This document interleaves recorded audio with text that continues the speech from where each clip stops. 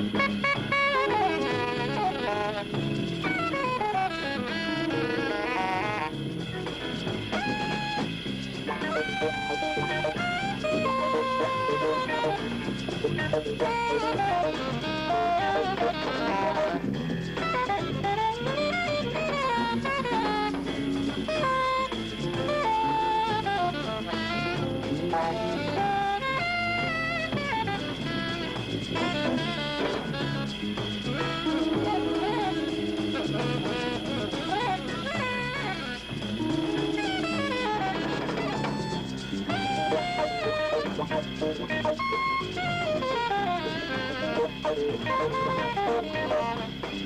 you.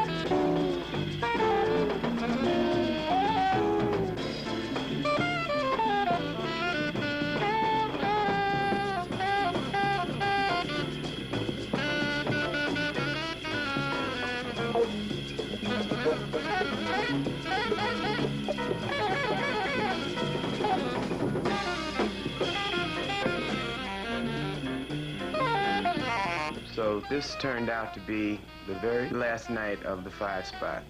The owner there said that it was just become impossible for him to keep up with the trend.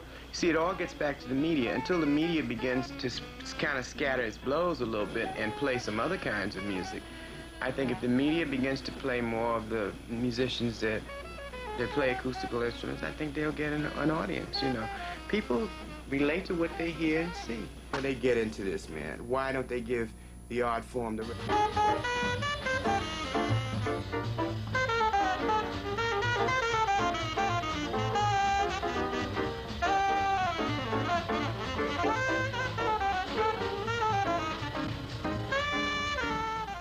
I really got busted in 57, and that one was when I lost my car. And I couldn't work anywhere. And then the connection, uh, I think Freddie Redd called me and asked me would I be interested in playing with him in a play. And uh, even though I was burning up a lot of money because of my habit, still, it was a big, significant boost for us for that period.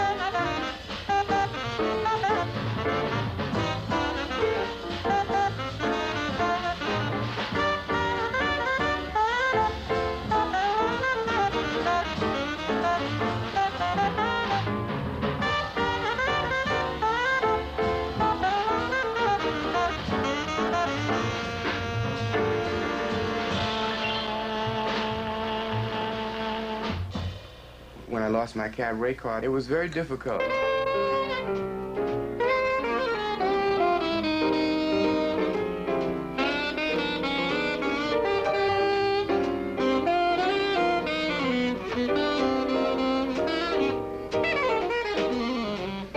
But I have been through several levels of the music business. I came out and went through the 50s and and made whatever name I have, and in the 60s.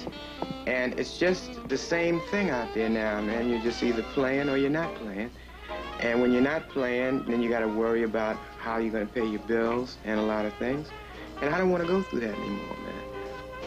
Personally, I see a little security at the university.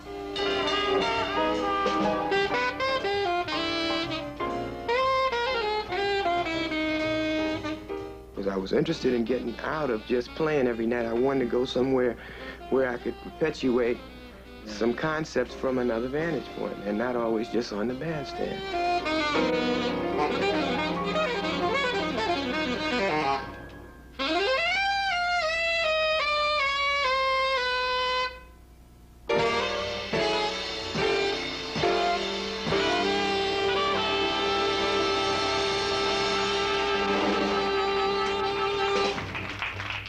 I won't put myself out there to be exploited. Not anymore. Uh, I hope the uh, Afro-American Music Department